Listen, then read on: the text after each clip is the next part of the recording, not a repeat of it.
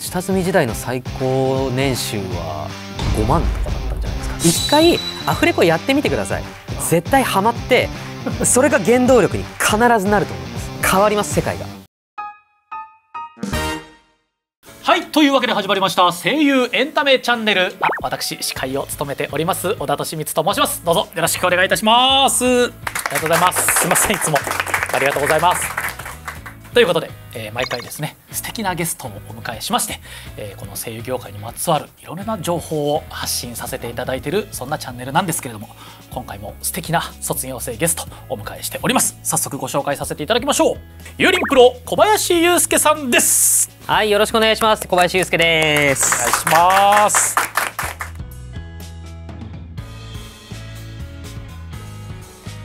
今回もよろしくお願いしたいと思うんですよろしくお願いします。いろいろ前回前々回とあのなかなかリアルな話やいろいろなことをね 伺っているので、はい。今回もちょっといろいろ切り込んだところなんかもなんと。えやらせていただきたいと思っております。頑張ります。はい。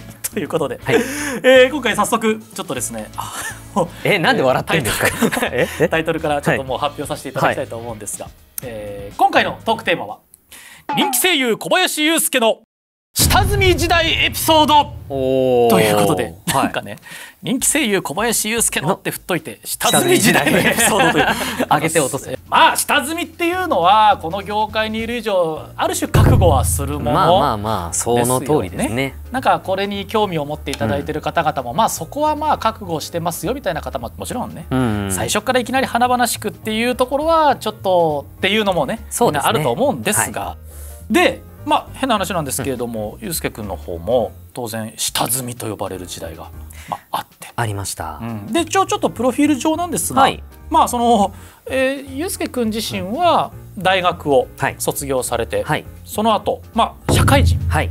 でこれあれなんですね大手の家電メーカーにあそうそうご就職なさった。はいそうなんです。ええ。でその後に、ん。まあ年齢で言いますと24歳。はい。で、まあ、会社退職されて、はいそして AMG という流れで、まあユーリンプロさんと。そうです。こういう流れで声優生活始まっていくわけなんですけれども、当然最初ってお仕事そんなすぐにはなかった？なかったですね。その頃でどんな感じだったんですか？どんな感じ？うーんとまアニメにはうん。1回だけ呼んでいただいて一回。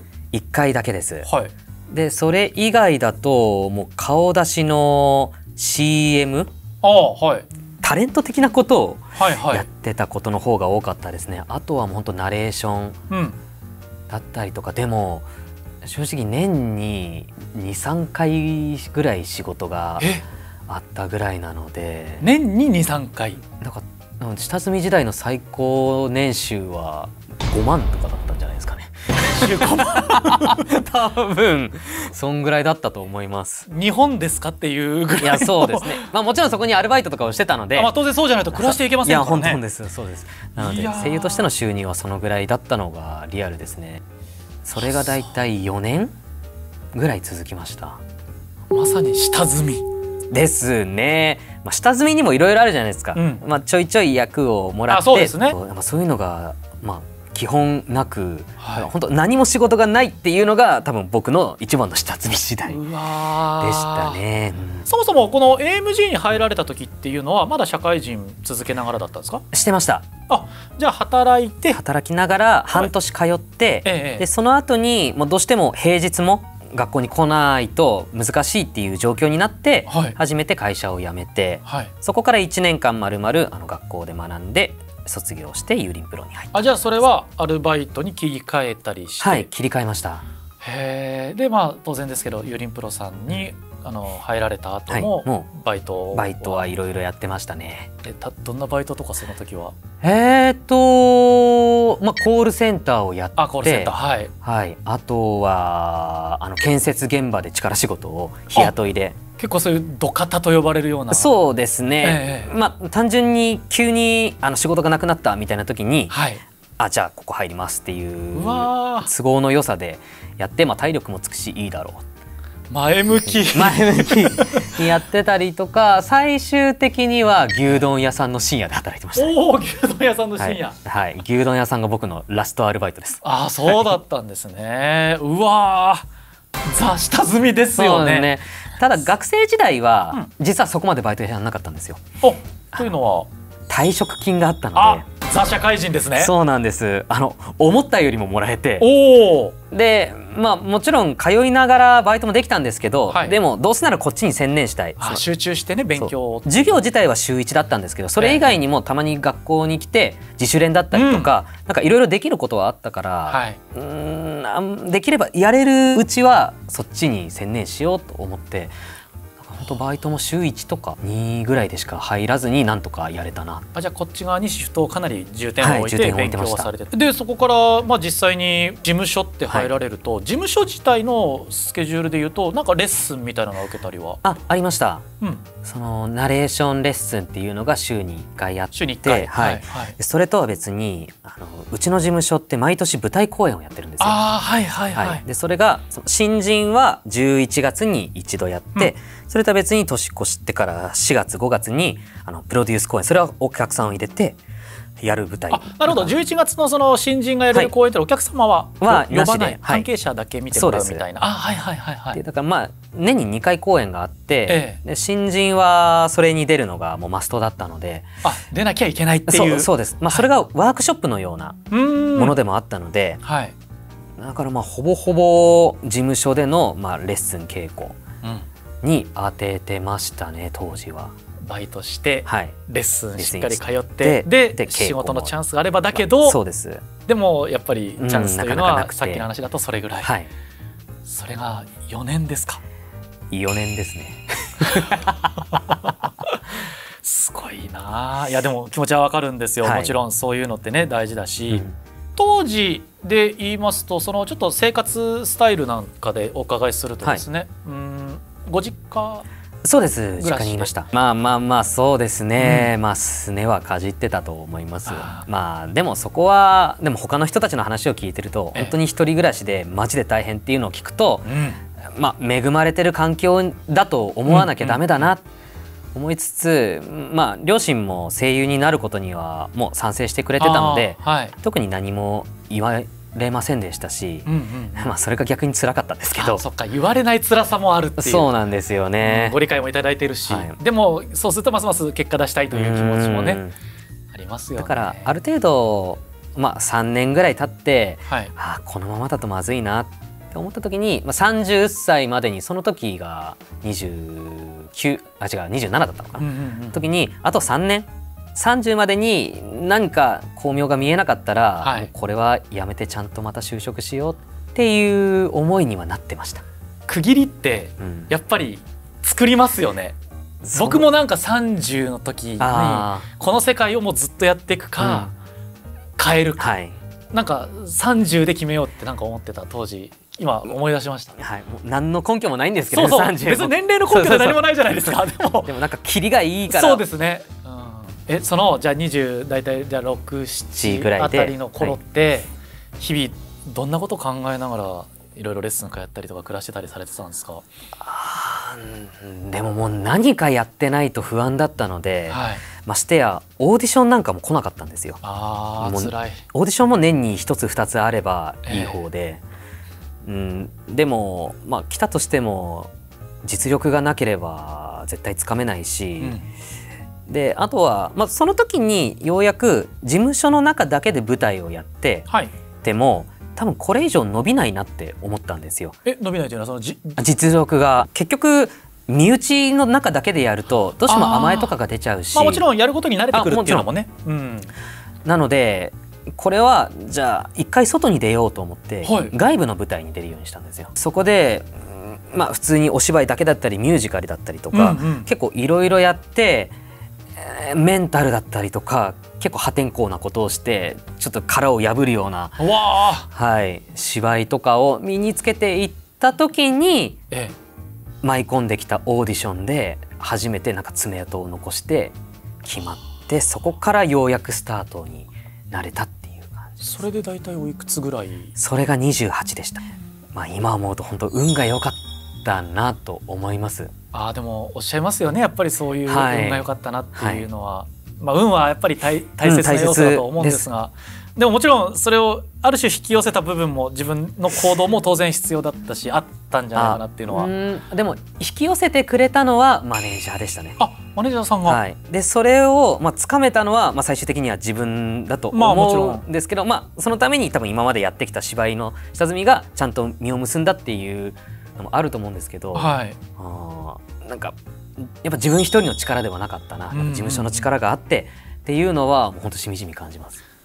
でもなんかわかんないですけど、はい。30までとりあえず頑張るけど、そこからはっていうことは思いながら20代を過ごされてても、うん。はい。それでもでも途中で、うんやっぱりもうやめようかなみたいな時ってあったりは？あありましたありました。何回も。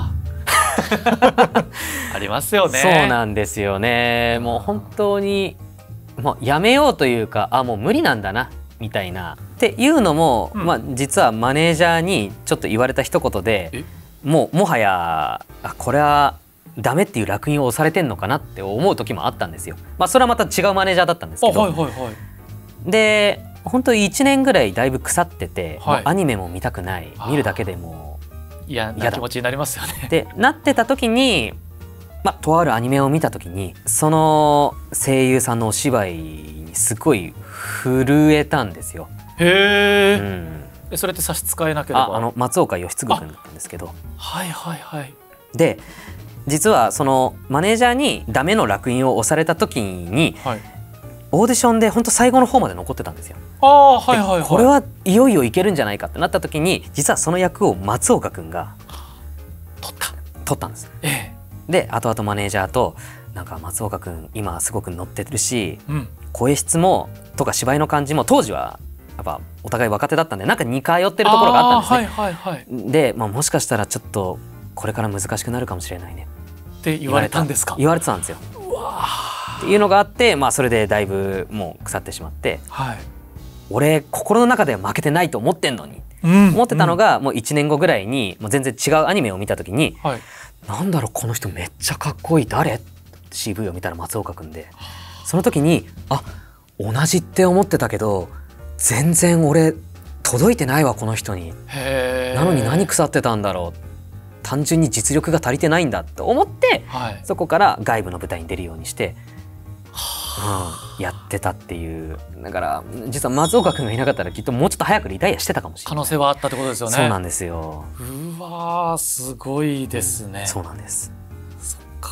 それってでもなんかよくこういう業界を、まあ、ちょっと僕も多少長くなりますと、まあはい。諦めていく方っていうのの思考っていうのも実はあるなというのがありまして、似通ったりしている人ですごい人がいて、無理かなとか諦める要因が作られるっていうことなんですけど、今明らかにそこと違ったなって思ったのはあに似通ってるは最初感じられて、で見るのも嫌だったのが見て、うん。実力が足りてないんだじゃあやろうってなったっていうところにすごいポイントがあるような気がしたんですけど。ああそうですね。なまあそう言われるとなんでなんでしょう？まあ単純にそもそも負けず嫌いだっただけなんですかね。体育会系男子だったので何クソ精神はあったし。なるほどなるほど。そう、まあ、ただ腐り始めたその時はえ同じぐらいえの実力、うん。うん。だけど向こうは年も若い。ほの他にもいろいろなんかアドバンテージなものを見つけてはい。あ結局実力が同じでもそれ以外のところでなんか俺は負けてるからこれはもう俺からしたら年齢はどうしたってもあの若くはできないしうんうん他の要素も俺にはできないだから無理だって思ったのがうん芝居の差だって思ったらあじゃあ芝居を埋めればうんうんうんうん。まだチャンスあるんじゃないっていうところになんか多分光を見ちゃったんでしょうね。なるほど。ましてやちょっと振り返ってみたらあ俺まだそのここでしか芝居をやってないから、うんもっと外に広げる可能性もあるんだとしたらあ、まあ、それをやってからじゃないと諦めらんなくねっていう方向にもななんで頭が働いたのかは分からないですけど、まあとりあえずやってみないと一応30までって決めてあ確かに。あと3年ってなったからには何かをしなきゃでも何したらいいか分かんないってところにそこで可能性が見えたからこそ結構頑張ったんだと思います。面白いですね。うん。いやつまり世間っていうのは はい多分まあある種形として結果を出されてる人を見るときに下積みも全てやっぱり美談になるし、はい、当然、まあ、そこに正直自分とは違うっていうものをどっかご覧になる方ももしかしたらいるのかなっはいてはい。思うんですが本当に違ったのは結果が出たっていう違いじゃなくて、うん。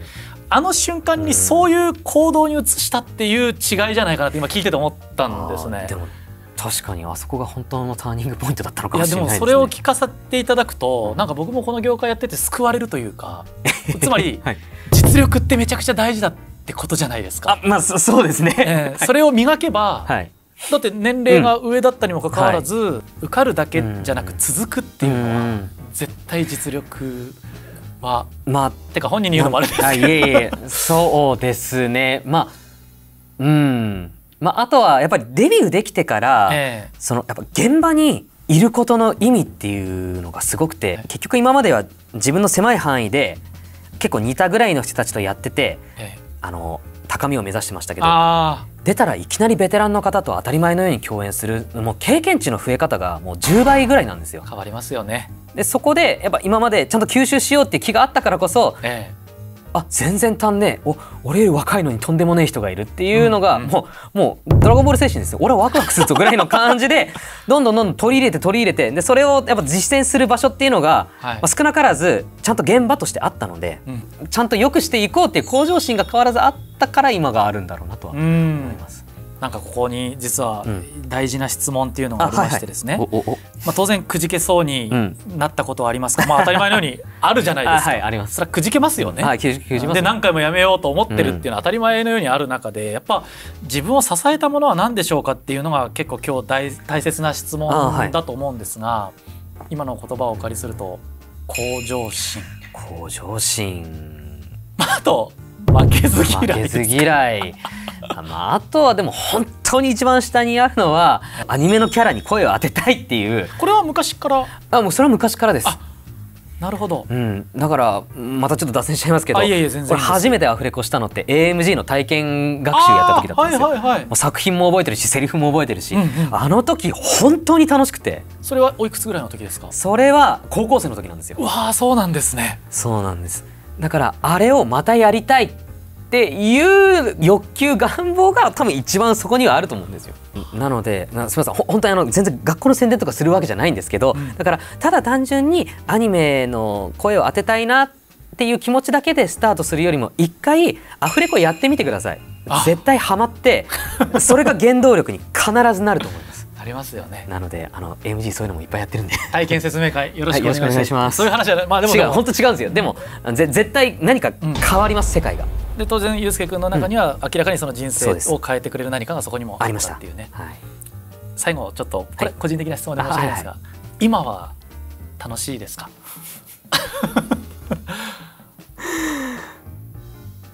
難しいですね。あうん、やっぱ昔とは違うのであはい、どこに楽しみを見つけるかはうん、考えていかなきゃいけないと思いました。うん。まあ、言っちゃえばアフレコをやってるだけで楽しいとは思えないです。もはや今はそこは違う、うん。うん。求められるものもあるし、はい。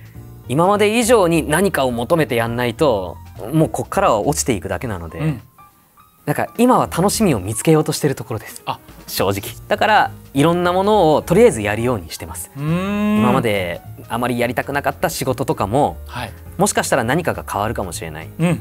うん、っていうのイベントだったりそれこそテレビに出させていただいたり。あ確かにそうですね。いまだに顔出しは本当にできればやりたくないっていう心は変わらないんですけど、うん。でも何か楽しみを見出すためにってがむしゃら感はもしかしたら今はあの頃と同じぐらい持ってるかもしれなまいですね。たはい。その向上心じゃないですけど、はい。いえーいろんなものを吸収したいって気持ちが今またさらに出てきてるっていう。そうですね。素敵ですね。うん。だから今まさに見つけてる最中です。あー素晴らしい。いやー本当貴重なご意見。ありがとうございます。ありがとうございます。もう今日聞かせていただきたいことはすべて。はいもう聞かせていただきました。ありがとうございあます。りがとうございました。はいということでここでゆうすけくんよりはい。告知をはい。ちょっといただけるということで。ありがとうございます。お願いしますはい、えー現在ですね、えー僕が主人公を務めております、えー相馬和也役で出演しているテレビアニメ現実主義勇者の王国再建記こちらのセカンドシーズンが放送中でございます。各配信サイトなどでも放送あの配信されてると思いますのでぜひ気になる方はご覧になってください。その他にもツイッターなどでいろいろ出演情報を出しておりますのでそちらの方もチェックぜひよろしくお願いします。ということで、えーこの声優エンタメチャンネルでは皆様のこういった生の声コメントどしどしと募集しております。あえっ、とチャンネル登録の方もですねあの 随時 募集しておりますので、えーありがたいことにたくさん今チャンネル登録もいただいております、どんどん発展していきたいと思っておりますのでそちらの方もどんどんどしどしと募集しております。よろしくお願いしたいと思います。ということでまた締めとなりましたので、はい。コメントいただいてよろしいでしょうか。はい。はい。それでは行かせていただきます。どうぞ、夢を夢で終わらせない声優エンタメチャンネル。小林祐介さんでした。どうもありがとうございました。ありがとうございましたよくぞこのお題で出しましたね。AMG さんも。してないですね。面白いですかこの話